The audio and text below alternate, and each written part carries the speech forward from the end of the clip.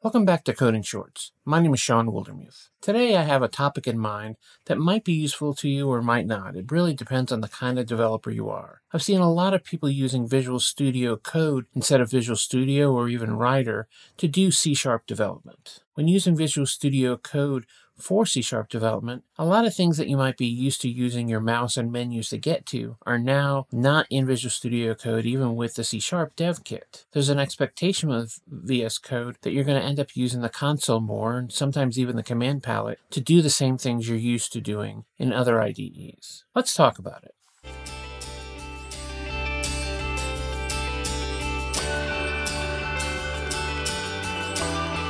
So I've got a really simple C Sharp project here. I could have created it with the console. That's certainly something you can do with .NET New, but there's so much out there on .NET New. I don't want to really focus on that. I want to focus on as you're working with a project. I'm actually going to start away from a project and talk about the SDKs. So .NET, I find the easiest way to list the SDKs I have on my machine. This can be important when I'm thinking about, oh, I have an older project or I have a newer project or I want to convert a project from one version to another, knowing which SDKs I have on my machine. You can see I have ones going all the way back to version 5 on my machine. And I can certainly get rid of some of these as time goes on. 5 is probably pretty much gone because it was supported for a shorter amount of time. You can also look at what runtimes you have. Now, this is going to be a bit bigger because you're going to see different things like the ASP.NET Core runtimes, the .NET Core app, which this is when you're needing to run things, console apps and things that don't need the ASP.NET Core, and the Windows Desktop app, which I happen to have installed so that I can do .NET Core, WPF, and things like that. These aren't everyday things you're going to be using, but I find them useful to know that the CLI is capable of it. But let's get into something more interesting. I have this small program here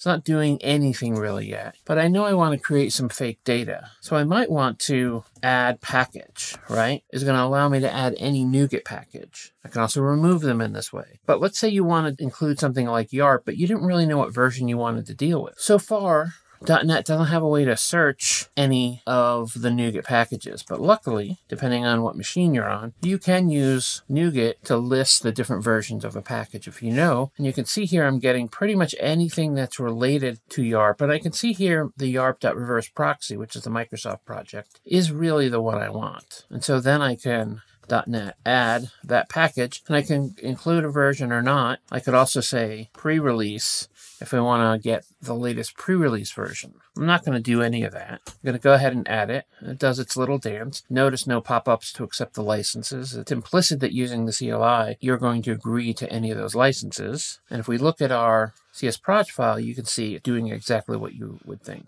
Back in the old days of .NET Core, they used to have IntelliSense for the package references, and I used to write them in by hand because they had some IntelliSense for it. They've taken that out because it was a little bit too resource intensive, and they don't want people hand editing the CSproj as much as I think they probably should allow it. So let's do the same thing again. In this case, I'm going to use NuGet to search for, let's say, Mapster, which is a tool I'll use quite a bit. We can see it's found a bunch of different Mapster projects and here's Mapster. And it doesn't tell me what versions are out there that aren't the latest, but I know that once I have the name, I can .NET add package Mapster pre-release. So if there is a pre-release version you want to be working with, you can actually get that. And let's see if there was. It did find a pre-release version, so I went ahead and installed it. Remember, you can use specific versions or just get the latest or the latest pre-release version. Those are both supported. And let's say I decided that I no longer needed Mapster. I can also do .NET remove package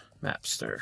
And unsurprisingly, it just deletes the line. But you can see some ways you can use the CLI both for automation, but also so you can get comfortable with it being quicker. One of the reasons I like add package so much is it's so unbelievably quicker than opening up that awful dialog in Visual Studio. I actually use the CLI in Visual Studio to do this as well. They don't really like it, and sometimes I get some conflict with CS Proj because they think someone tried to overwrite it, which it did. So it's much easier here in Visual Studio. So there's some other things we can be doing. We all know that there are some tools like EF that are extensions to the .NET CLI that allows you to do these things. We can match those by, so if I go Tool, list. Now this could list tools in my local project, which there are none, but if I do dash G, it'll show me all the ones I've installed globally, like Entity Framework. And so we can see I have a few here that are interesting. .NET Search, .NET Outdated Tool, etc. And these can be installed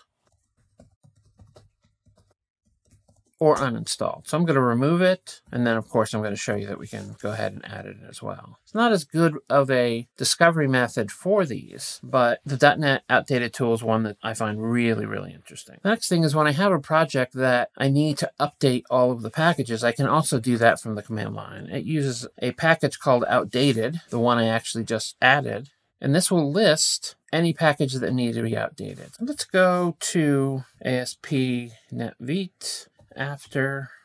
We can see that is a regular project, and I'll say .NET outdated. And we can see the big change they want is for the SPA services to update it. Now you can see that it's giving you different colors for different requirements. So major version updated or pre-release version is now a major release, those sorts of things. But this doesn't actually update them on their own. What we have to do is add the dash U.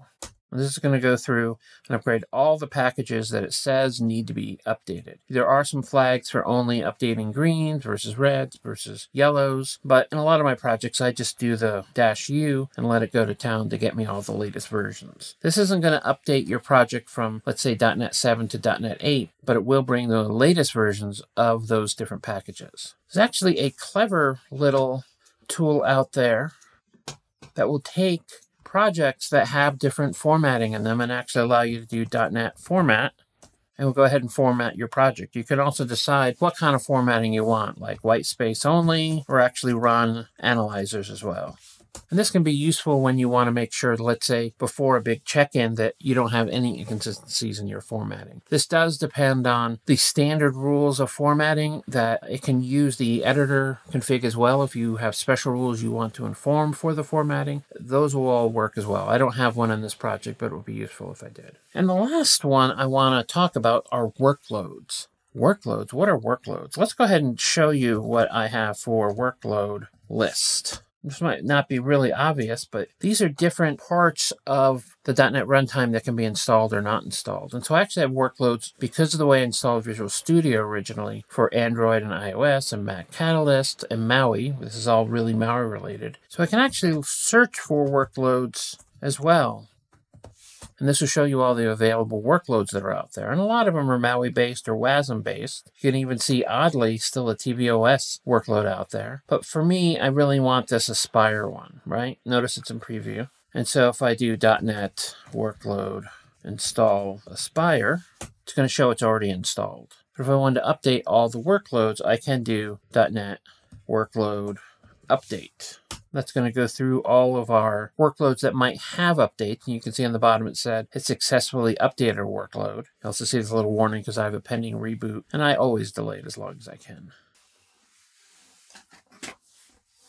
The story I'd like you to take with you from this is that while I wasn't exhaustive about the different .NET CLI tools that you could be using, you could also be using Azure and GitHub CLI tools as well, that working with Visual Studio Code brings me back to a day where I was using an IDE less for doing all these machinations and getting back to doing things as quickly as I could. And the .NET CLI really allows me to do most of the things that I would normally need to do right clicking and open through menus and things in Visual Studio that sort of are a pain as far as I'm concerned. Hopefully you've seen some of the things that the CLI can do and might decide that learning the CLI is really worth it, because I think it is. If you've gotten this far, please like and subscribe. I have a bunch of Aspire content coming up in the next several weeks. So go ahead and subscribe if you want to be notified about those new videos. Down in the comments, feel free to ask me any questions about this or if you have suggestions for other topics. And the video could always use a like. I know you hear this from every YouTube creator, but likes mean a lot to getting people to see our content. So any of that would be a big help. This has been Shawn Wildermuth for Coding Shorts. I'll see you next time.